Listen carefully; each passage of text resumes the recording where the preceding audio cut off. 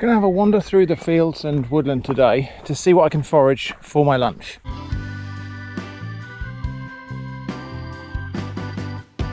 So I'm walking on a bit of ground that's been turned over. They ran a pipeline through here. And so this is all freshly disturbed soil. Up there, there's a bit of disturbed soil that's had a little bit longer to recover. So we might find some interesting things on there. Some of the plants I'm looking for today are denizens of disturbed soil. So actually it will be of benefit to me, the fact that that soil has been turned over and new things have grown. Just stopping here is a wild radish. Bit of a sorry specimen. There was an earth bank here that had loads and loads of wild radishes on it, but they've pushed that back in to backfill the trench, and that's just the last wild radish there that's available. However, look, there are some pods there. I think we might have those. So those are radish seed pods. That will add a little bit of crunch to my lunch. Now I need to be careful because those are not radish seed pods, those are vetch seed pods. Technically kind of edible, but mildly toxic. Vetches, member of the pea family, um, tend to cause a disease called lathyrism, which causes wasting of the buttocks and maybe I could tolerate that. Actually, I've got plenty of buttocks to waste, so uh, but maybe not today. Yeah, some more radish pods right there. We'll have those. Now these go tough quite quickly, so these look like nice tender young ones, so we'll have those. So I've got my foraging basket, but I've also brought a couple of plastic bags for the smaller and sort of more delicate things, like these radish pods which would potentially just fall through the gaps in the basket. So I thought it'd be interesting really just to see how much of a meal I can really actually forage realistically.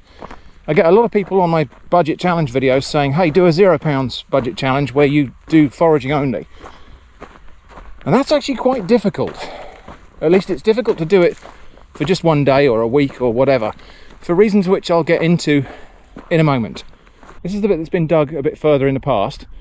And you can see, look at all that chamomile that's come up. So chamomile, lovely plant, very beautiful. I'm sure the bees are loving this. Although I can't see, oh, there's a few around. But yeah, we could make chamomile tea potentially. Not sure I really want to. Not massively fond of it. So here's another edible. This is shepherd's purse. I've got a video about that where I tried to collect these seeds and grow them. So these little pods here, I'm just going to taste one. These tiny heart-shaped pods, which, oops, it's just opened up. Yeah, kind of radish or rocket, something like that. More of this wild radish here. And it's interesting because you'll find white and yellow flowered specimens of it. I'm just going to head carefully through this chamomile trying not to trample it too much because there's loads more of this wild radish down this side. Now this is where I might find some more of those pods if we have a proper look. Not a lot there. Bees are enjoying the radish flowers, look at that. Little bumblebee there. There we are, there's some more radish pods there. We'll have those. Now there is of course also the radish foliage here. It's really, really coarse, but it is technically edible. So in theory you could pick a bunch of those radish leaves there and shred them up and eat them. I'm going to taste a little bit there. There's a nice small one there.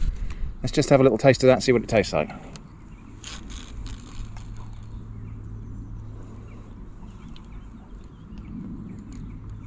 Quite bitter.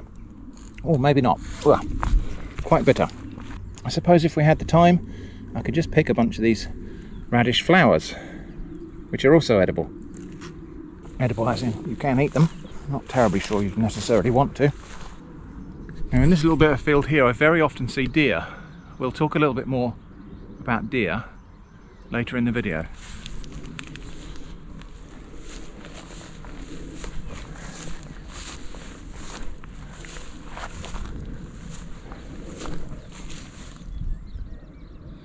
Small tortoiseshell butterfly just went over there.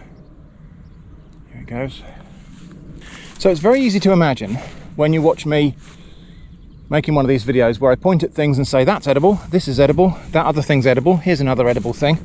It's very easy to imagine that with sufficient knowledge that a person could just be dropped into the countryside and would survive. The reality actually is a little bit more harsh than that. Foraging knowledge is not the constraining factor in terms of survival in, well, at least in, in the UK in Northern Europe. Because certain other factors are at play. And this is me basically making excuses in advance as to why not all of my lunch is going to come from foraged ingredients today. So down at the other end of that cutting, yeah, it's mostly just grasses and things down here. There will be some other plants that are edible. There'll be some uh, red dead nettle, probably corn mint, a few other things. They have got these big piles of wood chips here from trees that were cut down. I was really hoping I might find morels on these piles of wood chips this year, but sadly not. There were fungi on them, they just weren't morels. Anyway, we're going to move on. There's a very, very large hairy caterpillar, moth caterpillar there. I wonder if he's he's alive. Let's just get him off the path. So this plant here is called Jack by the Hedges or garlic mustard, Alliaria petiolata. These seeds, when they're a bit more mature and dry, are edible like mustard. You can grind them up and make a kind of mustard from them. I've actually done that before. It's quite interesting. Very, very earthy, nutty flavour, but quite tasty and quite potent. The plants themselves are a little bit over for picking now, so they're a bit too far gone to pick and eat the leaves. So why is it difficult to forage a whole day's food in the UK? Well, there's a bunch of reasons for that. Firstly, seasonal availability. So not all of the edible things that you've seen me talk about in videos are around at the same time. So for example, here's a hazel tree, but there are no hazelnuts on here. There are, well, let's see if we can find, that might be the start of the hazelnuts. There might be some small developing hazelnuts somewhere on here, but they'll be nowhere near ready yet because it's spring and the nuts will be produced in the autumn. So seasonal availability is, is one thing. So at this time of year, there's quite a lot of green vegetables around. Obviously, if you were going to dig them up, which I can't generally because I don't have permission, there are roots most of the year round. So burdock, uh, pignut, those sorts of things, wild carrot, maybe wild parsnip, that you could dig up and would sustain you more or less any time of the year. But at this time of year in spring, there are very few fruits, there are very few nuts. There's actually not an awful lot of calories out there, at least in terms of plants. Coastal foraging obviously would include fish and shellfish. Hunting obviously would include deer, rabbits, birds, hunting's not really a thing for the general public in the UK for various reasons which are too long-winded to get into in this video. But in terms of foraging wild edibles, seasonal availability means you're only ever going to be picking a percentage of all of the plants that are available at any one point in time. In addition to that, there's local availability. So different environments have different kinds of plants. So that Jack by the Hedges plant that we looked at does indeed like growing by hedges. It likes to grow on the border of woodland and open space. Other plants like those wild radishes need disturbed soil. Some plants only grow by the coast, some plants won't grow by the coast. So local availability is a limitation on what you can actually find. And in fact, for this reason, I went out to a slightly different environ this morning before I came out on this leg of the journey and picked some wild garlic and some hogweed buds, which will also be featuring in my lunch. This plant here is wild lettuce, which is a relative of the wild ancestor of cultivated lettuce. You wouldn't think it, would you? This spiny, look at those spines on there. The the back of that leaf. Not exactly thorns, but it's a really coarse and spiny plant. Actually mildly narcotic, I believe.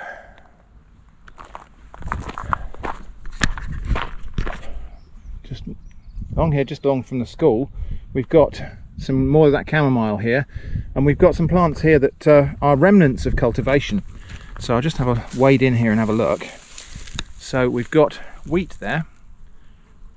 That is actually cultivated wheat. So presumably an ear of wheat missed the combine harvester there. Looks about the right number of seedlings to have come from one ear of wheat that just fell on the ground and broke apart. And there we've got a corn cockle, which is a very common, again, plant of disturbed soil.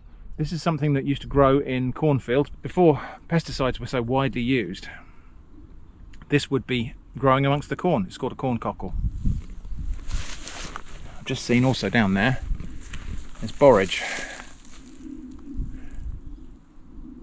The blue flowers down there, that's borage.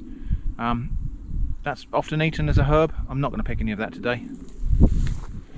Very beautiful wild rose there. Being enjoyed by the bees. Oh, fragrance. And of course rose petals can be used as a flavouring in desserts, Turkish Delight, for example, or Lukumi, is flavoured typically with rose water, sometimes lemon, sometimes pistachio, but rose water, very possible to make rose water from wild rose petals. Again, won't be doing that today. Another time though. Coming to a bit of a kind of open area now. Now this was a cultivated field uh, three years ago. They're going to build houses on it soon. So we'll have a little wander around in there and see what we can find. This was also a cultivated field. This one was turned over, I think only about two years ago. So there'll be different things growing here. We'll have a little wander around, see what we can find. There's a lot of wild rye. This is wild rye right here, which later in the year you could harvest the grain from that and grind it and make a kind of coarse bread. But again, we're coming back to seasonal availability when that grain is available, other things won't be. The dark green stuff here is ragwort, which is toxic and troublesome to horses, but there are no horses in this field, so there's no need to control it here. White clover down there. We'll probably see some red clover as well. Clover flowers are edible, so we could pick a bunch of those flowers make them into fritters or something.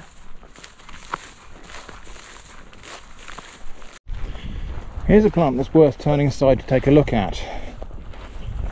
Goat's beard. These may look like dandelion clocks, and this is a relative of dandelions, but they're very, very much larger. And so, this is where we get a chance to actually see these seeds with their little parachutes on them.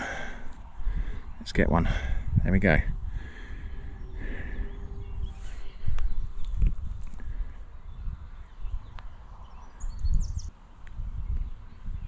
So those seeds will just parachute off to produce new plants. Now this plant here has a taproot which is edible. So if we, do, if we were to dig this up, it would have a long, thick, fleshy taproot that is edible. This is related to salsify. It's a relative of that. So this would be edible, but as I've said many times before, I don't have permission to dig up plants on this land. In order to dig up a wild plant in the UK, you need permission from the landowner. So, and I don't have that, so I'm not going to. But what I can do is help it spread its seeds around. I mean, it doesn't need my help, but it's fun.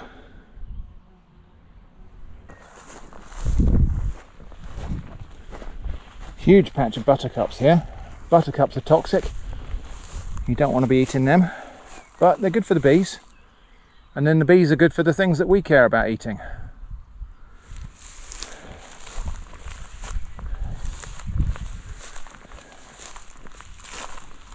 This is a dock. This is a species of dock here. These are all edible. A bit coarse and kind of bitter and uninteresting flavour though I find dock. But these panicles of flowers here, you could pick them off and fry them as fritters or grind them up and make a sort of, well, let's see what they taste like. Mealy, a little bit astringent. Actually, I think I will pick some of those. Right, what we got here is a willow herb. Rosebay willow herb is probably the best example of this, which is not this plant. Rosebay willow herb or fireweed is a much taller plant with lots and lots of pink flowers. You quite often see it by railway tracks or on disturbed ground. These willow herbs, the roots of these are edible, so they've got fleshy, sugary roots. So you could dig these up, I'm not going to, and pound the roots and make a kind of paste, and that would use could be used to sweeten things. Quite a bit more of this goat's beard here, really nice to see, and some of its smaller relatives there. These flowers on the goat's beard though, none of the flowers are open here. They will tend to open quite briefly. I think they open for a few hours in the morning, get pollinated and then close up again. The other flowers that you're seeing here are from a related plant, also in the same family. And you can tell from the similarity of the seed heads actually. But again, the bees are loving them. And of course, our old friend dandelion. And the young leaves of dandelion are edible especially if you blanch them, if you cover them up, let them grow without light, you'll get a much sweeter, more tender leaf. These plants are quite mature now. But again, these have got big roots underneath that could be dug up and roasted. Can make a substitute for coffee out of them. I've tried it before, it's not bad. So here we go, white clover and red clover growing close together. Different species of a quite similar plant, so red clover, which is actually bright pink, named no doubt before the word pink entered the English language. Anyway, so how did our pre-industrial, pre-agricultural ancestors survive if foraging is not as easy as you think? Firstly, they didn't always. Starvation and malnutrition were real and present risks in pre-industrial, pre-agricultural life.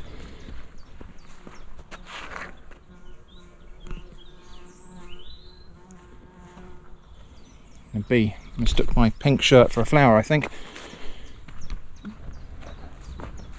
But yes, if you or your community didn't have enough food, there was no real safety net, you just died. But the ones that did survive did so by a number of means.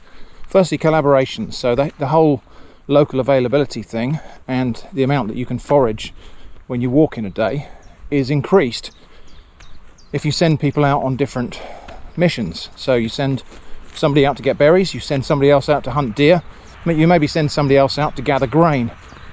And those three things, when people are task focused, will be more productive. So somebody comes home with a whole deer, other people come home with a number of baskets of berries, other people come home with bags of grain, and between them, they're able to make a more kind of balanced diet, I suppose. So collaboration in groups, society on a small scale.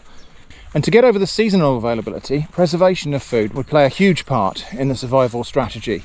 So pickling things, drying things, processing foods and storing them down. So smoking meat, drying fruits and berries, grinding grains and then baking them into hardtack or crisp breads, those sorts of things. Spread the harvest, spread the wild harvest of any particular thing across a broader part of the year. Nobody was really starting from scratch. You wouldn't go out and try and forage what you were necessarily going to eat that day. You'd forage what was available. You'd eat some of it, you'd preserve some of it, but you'd also use some of your preserved stores so that you could end up having a, a more balanced meal in terms of calories and nutrition, but also a bit of a more interesting diet because, you know, some of these things that I'm foraging aren't just some of these things I'm foraging aren't just nutritious, they are things that will add flavour to the food, make it interesting to eat, make it feel like it's worthwhile eating. Anyway, going to head into a bit of woodland now and see what we can forage in there. So yeah, back to seasonal availability, for example, there will be abundant blackberries here, but they're not ready yet. All we've got at the moment is the flowers.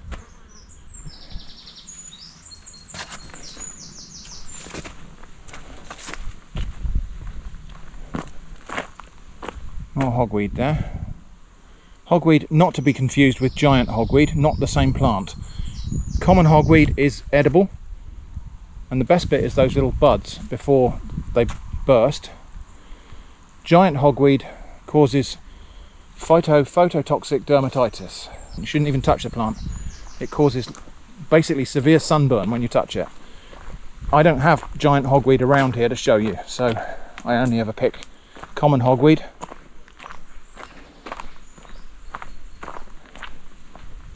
There's bracken there. Now some people do eat the fiddleheads of bracken, the little undeveloped curled up shoots in early spring. I have never tried that. They are supposedly toxic unless they're prepared in a particular way. People say they're okay once they're cooked, but there's still debate on whether that's actually completely non-toxic when it's cooked. Now in this area here where it's a little bit shady, the stinging nettles are a little bit further behind the rest of the world. There's a pigeon up in a tree there, see, there's a, there's a thing that could be hunted but I don't have the equipment with me today so I won't be doing that. Now I haven't brought my gloves but you can pick nettles if you're careful without gloves you just have to be decisive like that. So I will pick a few nettles, a few nettle tops. Elderflower here. So this is an elder tree. Elderflower, beautiful sort of grapey fragrance to it. Fruity, grapey sort of fragrance. So I will take one of those. I'm just going to shake the bugs off of it and take maybe a couple. And while we're here, I will check out this tree to see if there's any wood ear fungus on it because that's the thing that grows on elder. But I can't see any on there because that would be a, a thing to forage and not especially nutritious, but again, it's just a way of making a forage dish a bit more interesting in total. Enormous stand of nettles here, almost as tall as I am, in fact taller than me in places there. But they've got seeds on them. Now people say you shouldn't pick nettles once they start to develop seeds and that's probably mostly true. Once the plants mature, they increase the amount of oxalates that they have in their tissues. Oxalates are not great for you, they can cause joint problems, they can cause kidney problems and so on. So picking nettles late in the year from mature plants, not a great idea. We're still just on the cusp really at the moment, so in the shadier places we will find some nettles that are not so far along. So I'll pick a few tops from those. There's no sign of seeds at all on any of these, they're less mature plants, just because they're growing in slightly shadier conditions. So this is interesting while we're here. Look, wild cherries, not ready to pick yet, and in all likelihood the birds will get them before we could get to them. But there's a cherry tree. So potentially you can have wild cherries. They're not doing all that great on this tree actually. So anyway, how about this? An entire field of white clover.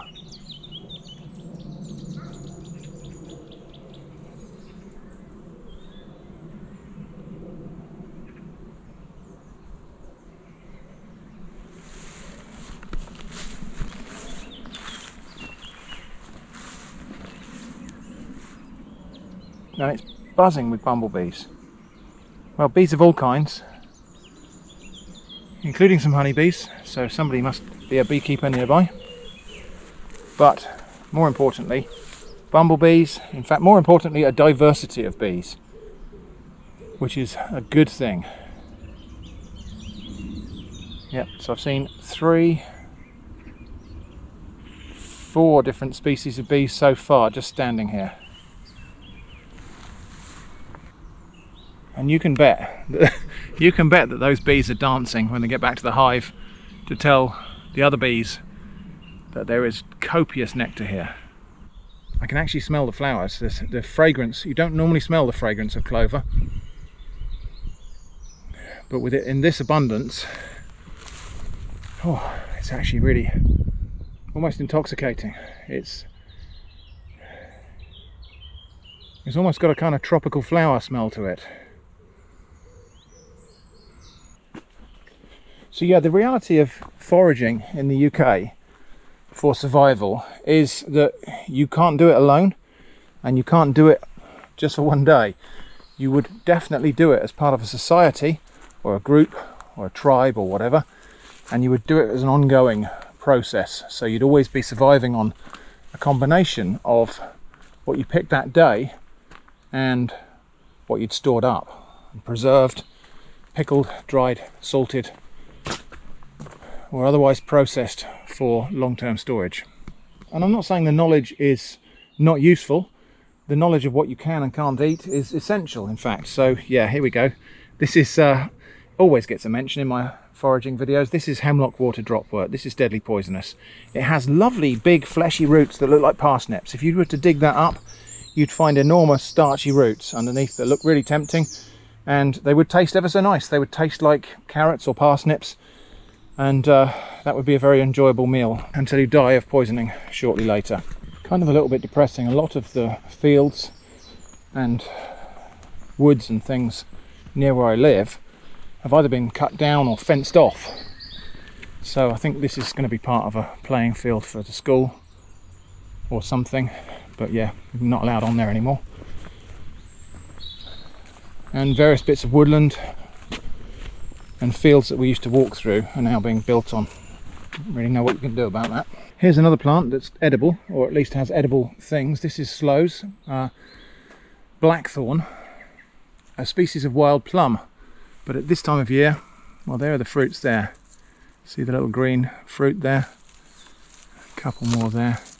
Even when they're ripe, these are incredibly bitter.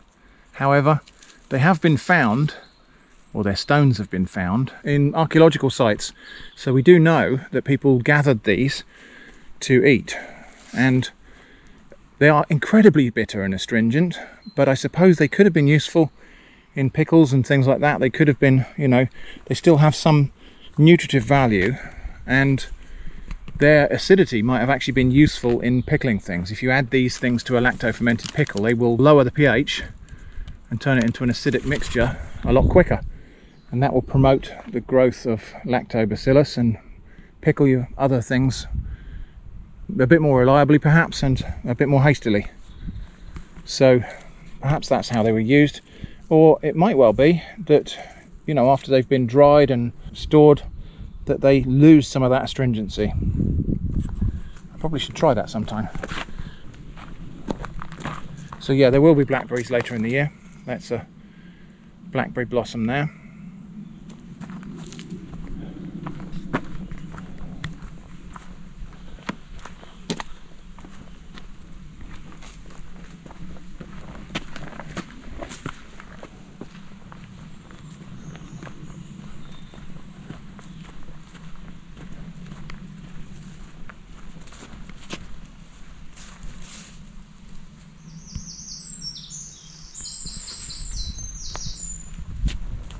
another edible plant here, ribwort plantain.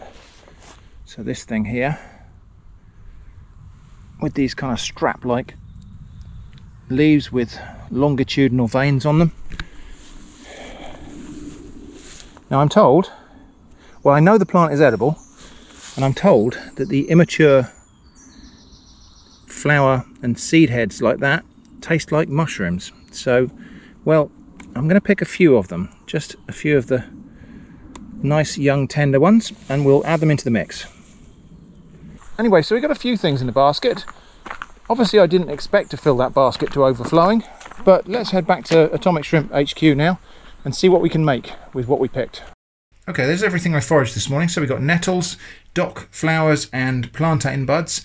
We got hogweed buds, elderflower, radish pods and wild garlic seeds.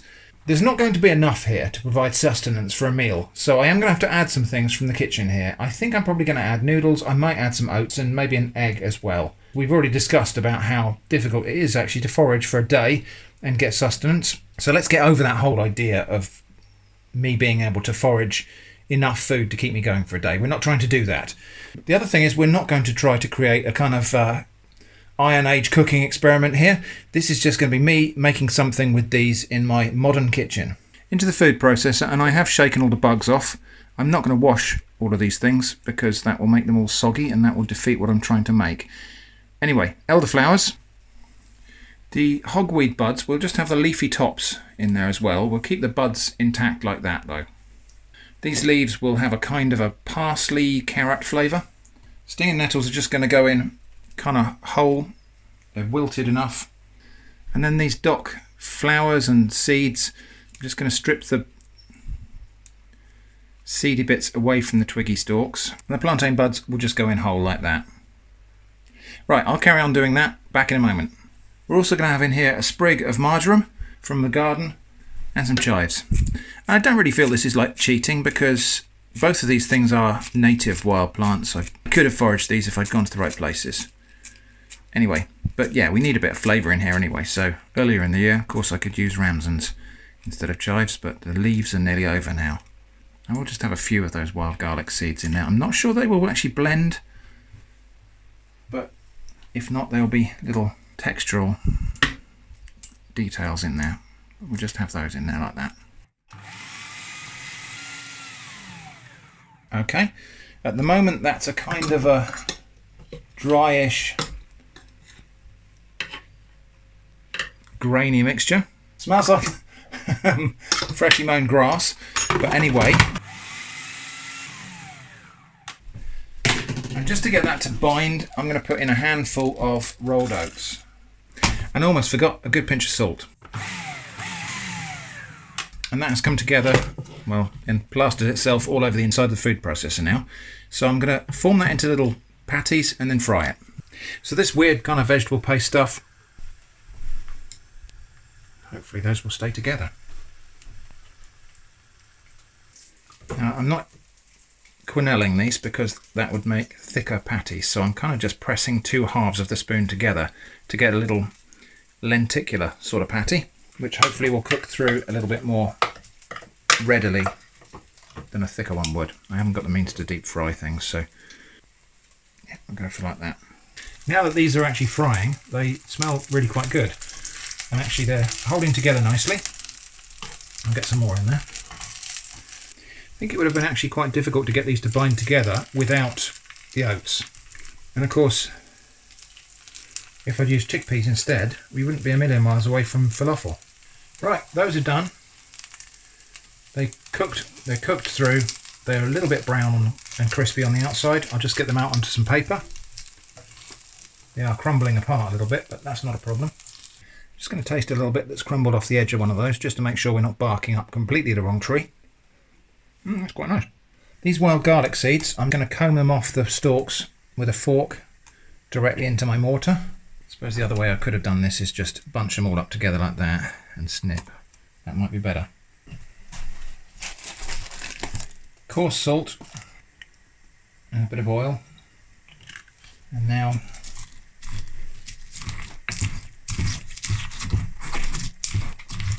grind that up. Well, little taste. Oh, good. These hogweed buds, I'm going to get a little trim of the stalk. I'm going to cut them in half like that so you can see the lovely little developing flower bud inside. Like a tiny cauliflower, although obviously not related. So I've got a pan of water here. Those hogweed buds are going to go on top. But first in the bottom, got some soba noodles. They're going to go in. And by the time those noodles are cooked, in seven or eight minutes, the hogweed buds will be steamed. And the last thing to prepare is these radish pods, which I'm not going to cook at all. These are going to go in completely raw. I'm just going to slice them. That's what they look like sliced and they're going to be as much of a garnish as anything else really. While we're just waiting for everything else, just going to have a look at one of these little nettle and wildflower patties. So they're crispy on the outside. They taste really good, really tasty. Doing that again. Noodles are done, so I'm going to dress them in this, I don't know whether you want to call this a pesto or whether you want to call it aioli or what. It's beautiful little hogweed shoots. You can still see the flower completely intact inside of there. My weird little wildflower and nettle patties, which is quite a dark coloured meal here. There's just a few of those wild radish pods on top. So quite a weird looking meal, I'm sure you'll agree. Perhaps it's more important how it tastes. Mm, that garlic oil is amazing. These are really good. I will definitely make these again. They are reminiscent of falafel. Different mix of flavours, obviously. I'm just going to try one of these hogweed buds on its own. I would say that is a wild vegetable to rival asparagus. But yeah, noodles together with that nettle and wildflower patty. That's really good. And these little radish pods, just crispy. Very mild flavoured actually. Sometimes you come across one that's really peppery. Yeah, very good. Happy with that. That tasted great. I think actually those elderflowers made those fritters taste really interesting. It, they kind of gave it a background fruitiness that almost like a bit of lemon zest in there or something. But that worked really well with the other savoury ingredients. Anyway, so that was a video about the ease or difficulty of living for a day on foraged foods in the UK. It's not that simple, even if you know what you're looking for. Living off the land is not a thing that you do for a day, it's something you would do for a lifetime and as part of a community, and with all kinds of other support mechanisms and processes built around it. I hope that's been interesting, thanks for watching, and I hope to see you again soon.